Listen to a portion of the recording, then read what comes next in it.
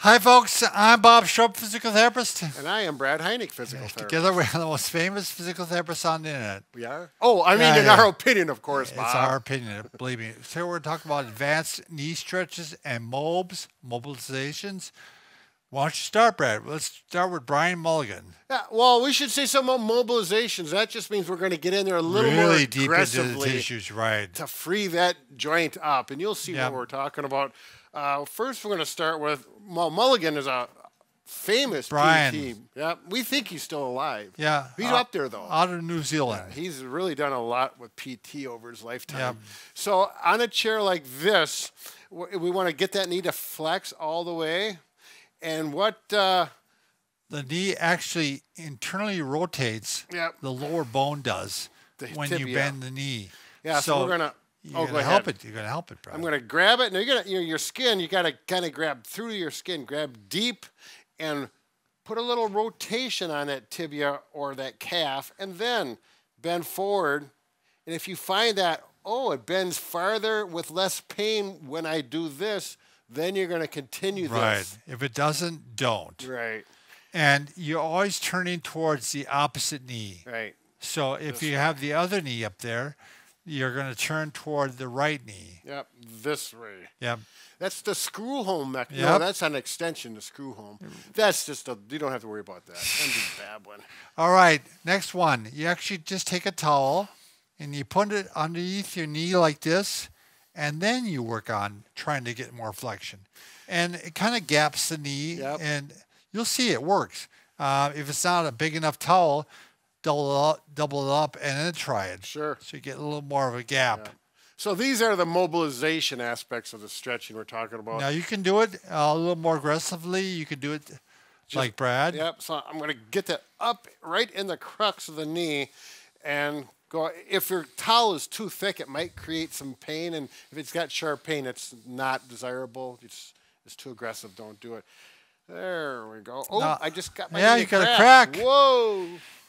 All right. So uh, this is what I do every morning. Believe it or not, the, the 60 year old guy, 61 year old guy, I flatten my heels. I mean, I flatten my feet Yeah. like this, and I sit back on my heels, and it really puts a big stretch on the knee. Yeah. Plus, you get a nice stretch on the On the ankle. ankle, yes. Yep. So it's a double. Uh, it's a double header. You can put a pillow underneath your knees if you like. Oh yeah. But there's a great aggressive stretch. Again, this is uh, not for sissies. so, Uh, all right, yes. Brad. How about we just start showing you? You can take uh, balls, massage guns, Booyah Stiks, Mm-hmm. um, foam rollers, Sure. and you can do different things to try to work the muscles above and below the knee. Right, because if the muscles, the quads, the hamstrings, or the calves are tight, that's going to limit your knee range of motion. I'll start with this one, Brad. So you can, uh, on a surface, like a seated surface, you can actually take a ball under the hamstring. You find the tender spot. You might even go back and forth, working that tender spot over, and then you're going to work on straightening and bending the knee while that's in place. Yeah, we call that flossing. Yes. Yep, and that's a real. We just, I just learned that from Bob, who learned it from Kelly Starrett. Right. Uh, he's very noted in this Yep. whole field. Again, you want to find tender spots. Mm-hmm. If it's not tender, it probably doesn't need it. You know, if it feels good, I'll still do it though. Yeah. Just because it feels Good Good for you, Brad. I'm one of those kind right. of guys. He's going to show the foam roller. It's nice about the foam roller. You can do it fast. You Yeah. get both legs at once if you want, or you can do one leg at once. So if you're just doing, if I'm just doing my right hamstring, I'll usually cross over to emphasize, and you'll feel it much more aggressively there. If you do both at the same time, that works as well. Rolling and rolling and rolling, rolling, pulley. You mind flipping around and do the quadricep too, Brad? Oh, sure. So I'm going to go like this. I do this on my forearms and roll. And again, I'll kind Sure. of go and look for that tender That spot. spot, yep. tight spot. Doing the inside of the quadricep is a little more difficult. You now, if you to- have a yeah, if you have a foam roller that's knobby, yeah, it's going to be a little more aggressive. yeah. Now you can go. These massage guns work really well for this. I'll give you yours, Brad, Oh, goody. and I'll take one. And Yeah. the thing is, you can really find the tender spots, and you really can focus in on them. Yeah. So, again, if your ha- uh, quad or hamstring is tight, it is going to affect your knee. If your calf is tight, it's going to affect your knee. So you want to work on those areas, find the tender spots, and work them out. And you will find over time your knee feels better. Yep. And uh, play with which head you want to use with your massage Right. gun. Uh, sometimes the round one or the air head, air one is ones I'll use on the quads.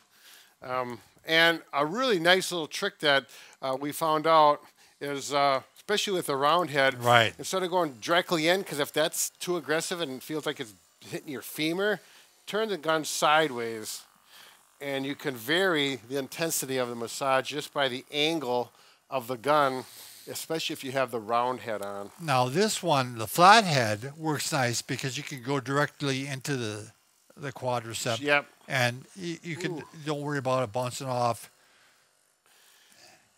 I So know. go right onto it. If you go on the right side along. and you work that IT band where my white stripe is, that one probably is not going to work very well. It's pretty aggressive because there's not a lot of m- muscle there. I'll go sideways on the IT band. You'll learn very quickly what to do and what not Yep. to do. And uh, again, if you don't have a gun, just use a ball. Mm. Use the lacrosse ball, your tennis ball, uh, softball. right. I mean, anything can roll on it. Hit the calf, hit the quad, hit the hamstring. Um, Mm-hmm. You you may even use the Booyah Stik, right, Sure. Brad? You know, you may spend when you're massaging these muscles with whatever alternative. You may be doing it for a few minutes. It's not just a 20 Right. or 30 second. And uh, again, adventure. you find the tender spots. That's what you work on. Yeah, and if you got a smooth stick that slides on your clothing, that works quite well, as opposed to trying to roll it. And they have those uh, mas- massage sticks. Yep, too. they got balls on them and they Yep. roll, and uh, you can see them. We, you know, we don't use those very often. no, they're they're nice. Yep, they work. There's no magic here, folks. And, you know, just work on the area, get it loose, and it's gonna generally help your knee pain. Yes, if it doesn't help your knee pain, it'll help your leg. What does that mean? I don't know. I didn't know what else to say. Thanks Bob. for watching.